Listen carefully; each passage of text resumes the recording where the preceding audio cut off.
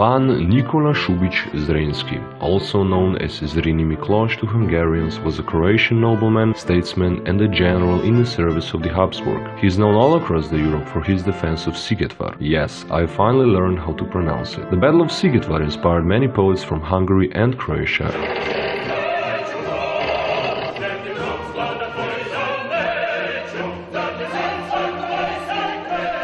And was described as the battle that saved civilization by French statesman Cardinal Richelieu. Let's not get ahead of ourselves and start from the you know where.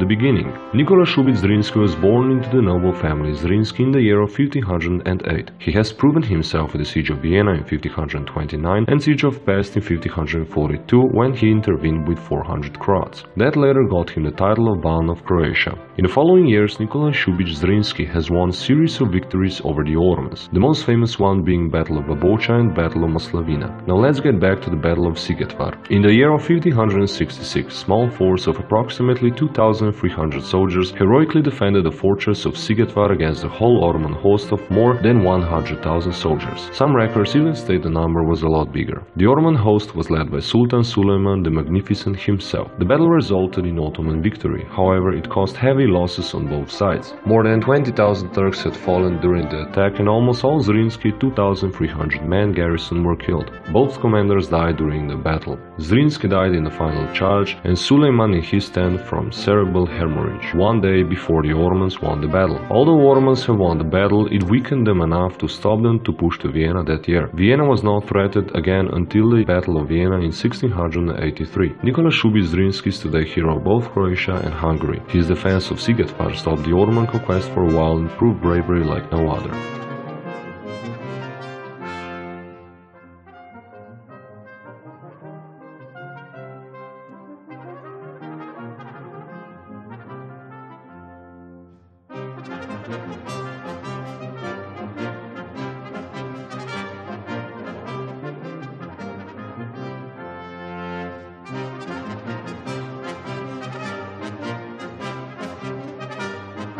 This video came to an end. I hope you guys enjoyed watching this video, make sure you subscribe and like the video. Thank you.